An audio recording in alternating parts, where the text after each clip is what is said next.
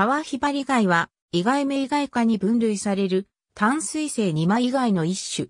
中国南部原産だが、日本を含むアジア各地へ分布を広げている外来種である。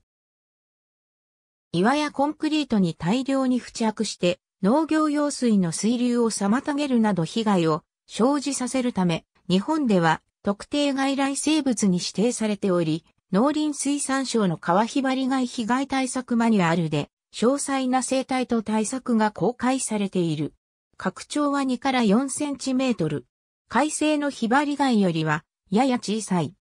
なお、コーロエンカワヒバリガイゼナストローボスサキュアリスは、本種とよく似ており、かつては本種の亜種とされたこともあったが、遺伝的に大きく異なり、内臓の形態やタンパク質の研究が進んだことにより、分布域も分類も異なる別属別種と判明した。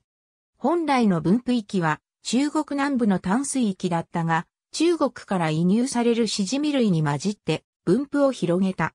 日本には1980年代に侵入したと考えられ、1990年に揖斐川で初確認された。淀川、木曽山線、矢作川、天竜川、利根川、霞ヶ浦の各水系でも確認された。関東地方、東海地方、近畿地方の12都府県で見つかっている。日本以外にも朝鮮半島、台湾、香港、台北部など中国の周辺各地に侵入している。生害は水深10メートルくらいまでの岩などに足糸を出して付着する。繁殖の適温は21摂氏27度で、各個体が水中に放卵、放生を行う。孵化した幼生は1から2週間で稚貝に変態し、固着生活を始める。違いのうちはわずかに移動できるが、成長すると移動しなくなる。通水管に付着して通水障害などを起こす。また、大量閉止して水質の悪化を招くこと、水道や水力発電の施設に付着するなどの被害が問題化している。水管の軽い、つまりはコンプレッサーなどで貝を押し流すことで取り除けるが、抜本対策ではない。駆除には、水抜きによる15日以上の乾燥、小石灰や石灰窒素、オゾンといった薬剤が有効と報告されている。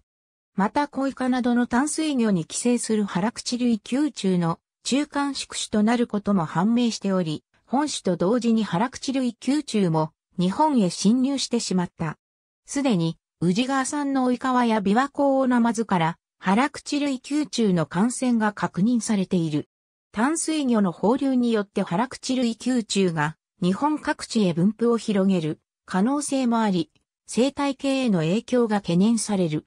一応食用できるが、小さいためほとんど過食部分がなく、味もほとんどしない。許可なく生きたまま持ち帰ると特定外来生物法により罰せられる。ありがとうございます。